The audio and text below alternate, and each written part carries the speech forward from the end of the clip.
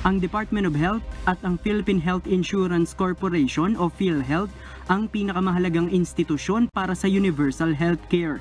Ito ang ipinunto ni Dr. Jose Rene De Grano, presidente ng Private Hospital Association of the Philippines Incorporated. Ayon sa PHAPI, dapat tutukan ng administrasyon ni President-elect Bongbong Marcos Jr. ang maayos na pagbabayad ng PhilHealth sa claims ng mga ospital. Ayon pa kay Dr. De Grano, karamihan sa mga ospital ay umaasa rin sa reimbursement system ng PhilHealth para sa kanilang operasyon.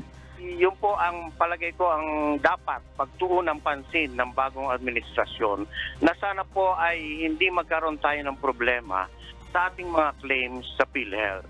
Bagaman ayon kay Dr. De Grano, nagkakaroon naman sila ng pag-uusap ng PhilHealth para sa kanilang mga claims.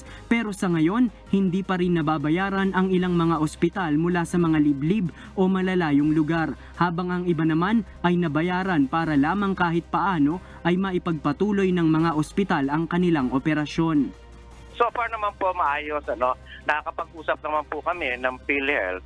Although, siyempre, ang in-expect namin na pagbabayad ng claims ay hindi naman po naibibigay pang lahat. Sa pag-uumpisa ng 2022, nangako ang PhilHealth na babayaran ang nasa higit 25 billion pesos na claims ng mga ospital hanggang sa kalagitnaan ng taon. Noong nakaraang taon, ilang mga ospital ang nagbanta nakakala sa state health insurer dahil sa hindi nababayarang claims. JP Nunez, UNTV, News and Rescue.